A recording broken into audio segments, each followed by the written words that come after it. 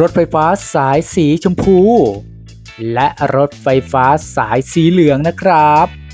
ซึ่งเป็นรถไฟฟ้าแบบโมโนเรลสายแรกของไทยนะครับ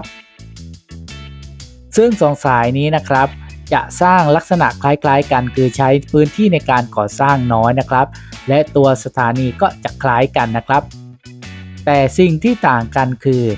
ซึ่งหลายคนก็ไม่รู้นะครับ คืออะไรล่ะครับก็คือ ทางขึ้นลงนั่นเองต่างกันนะครับ หลายคนว่าเอ้าต่างกันอย่างไรก็มีบันไดทางขึ้นเหมือนกันนี่นะไม่ใช่ครับ ที่ผมว่าต่างกันก็คือจุดที่ก่อสร้างนะครับ รถไฟฟ้าสายสีเหลืองนะครับทางขึ้นลงจะอยู่นอกเขตฟุตบาทนะครับ ที่เราเห็นเนี่ยครับจะอยู่นอกเขตฟุตบาทจะมีการเวนคืนพื้นที่นะครับ เพื่อสร้างทางขึ้นลงนะครับผม เป็นแบบนี้เลยล่ะครับผม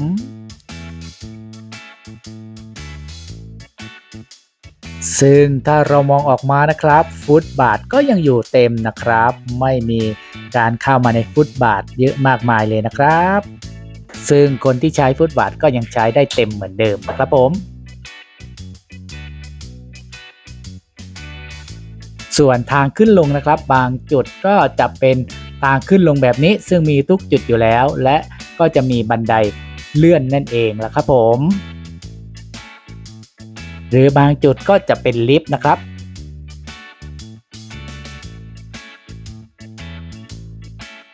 เรามาดูรถไฟฟ้าสายสีชมพูกันบ้างนะครับทางขึ้นลงแบบไหนนะครับ ที่ว่าต่างกับสายสีเหลืองนี่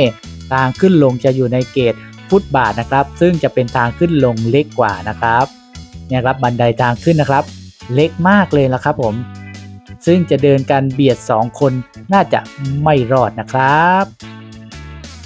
เนี่ยเป็นทางขึ้นแบบบันไดเล็กจริง ๆ นะครับ ผมเหมือนบันไดสะพานลอยนะครับ อาจจะเล็กกว่าด้วยซ้ำนะครับผม นี่แบบนี้เลย ผมดูแล้วน่าจะขึ้นแบบ 2 คนเรียงกันน่าจะลำบากนะท่าเนี่ยลิฟต์ก็มีนะครับ ซึ่งบันไดทางขึ้นลงนะครับ ก็จะเป็นแบบ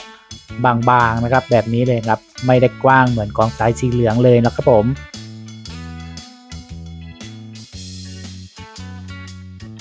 ซึ่งเรามาดูทางขึ้นลงของสายสีเหลืองอีกครั้งนะครับดูสิครับบันไดก็กว้างเลยนะครับ และก็จะมี